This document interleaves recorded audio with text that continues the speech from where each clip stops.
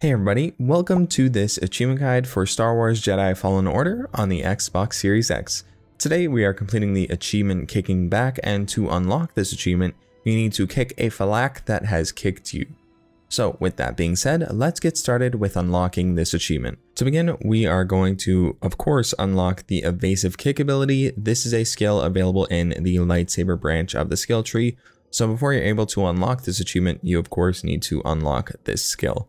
So now with Evasive Kick unlocked, we are going to be headed over to Zeffo. This is the second or third planet that you may go to in the story, and it has a ton of Phillaks on it. You can see right here, this is the first encounter with a Phillak that you will come across, and it is not the only one, so don't worry too much. This is actually how I discovered it was a Phillak, so I killed it, and then I scanned it, and it was like, oh, okay, this is a Phillak, I gotta watch out for them now. And then later on in the level, you will make your way to an area called the Windswept Ruins. Within this area, there are a ton of Phillaks, there's maybe four or five, and all you gotta do is find one, sort of isolate one, I'd recommend isolating it at least so you don't have to worry about being killed by the other ones, and then get it to kick you.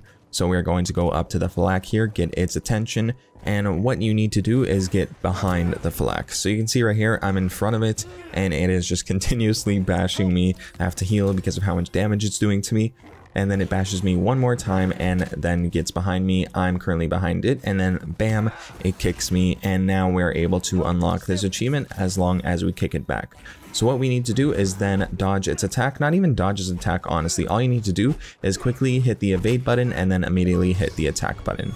And you can see right there, the achievement has been unlocked. It took a while for me to get used to the evasive kick controls, but after long enough I got it down.